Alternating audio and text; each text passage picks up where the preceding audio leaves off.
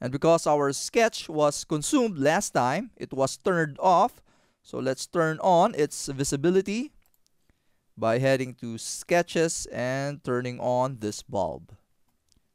Let's now head to create and select flange. Selecting our profile. Make sure chaining is enabled. Let's pull this arrow.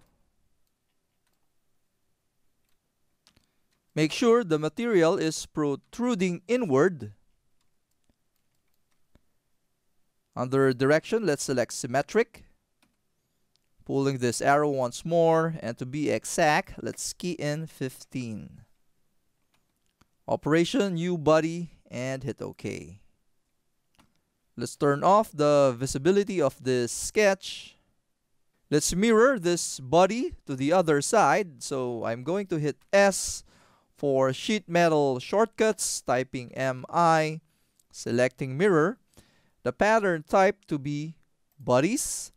Let's head to our sheet metal and select body 2 activating mirror plane, left click, and select our YZ plane.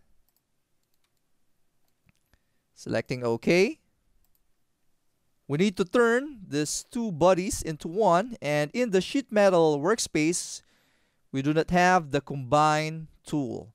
So let's change our workspace to model. Head to modify and select combine. Let's select body 2 to be our target body. Tool bodies to be body 3. Operation join.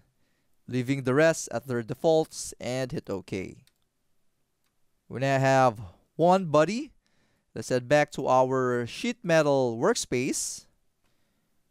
And let's check the area consumed by our sheet metal. Let's now head to modify and select create flat pattern let's select this face and hit OK. Hitting I for measure, selecting this face. And for demonstration purposes, we have here our total area for our sheet metal. Selecting close and selecting exit flat. Let's sketch the wire path in the next lesson.